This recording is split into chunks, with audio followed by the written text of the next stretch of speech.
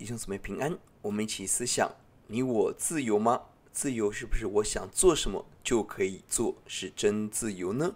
加拉太书第五章给我们宝贵的提醒：我们看起来都很自由，我们可以有很多的选择，我们穿的鞋子、我们的衣服、我们的生活用品很丰富，我们可以有的生活享受、社交、网络，看起来很自由，但我们仔细想一想，这一切的背后。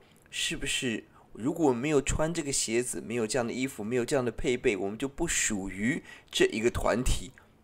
过去在保罗时代，他们相信这些律法、这些的规条是他们必须遵守。到今天，我们的服装、我们的这些生活用品，是不是变成另外一种规条、律法，让我们不自由？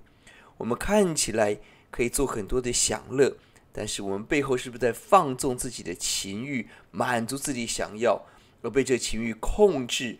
不能不上网，不能不喝酒，不能不做这些事情，满足自己，这是自由吗？而我们却看见有另外一个自由，在加拉太书第五章，让我们看到，不是规条，不是符合一些的外在的条件，而是在基督里我们得自由。耶稣释放我们，使我们得自由，并且是在圣洁。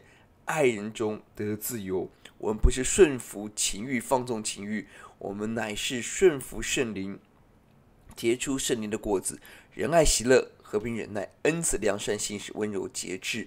在圣洁爱人中才有真自由。我们来祷告，呼求主帮助我们，不羡慕这个地上人以为的自由，让我们追求在基督里圣洁爱人中的真自由。听我们的祷告，奉耶稣的名，阿门。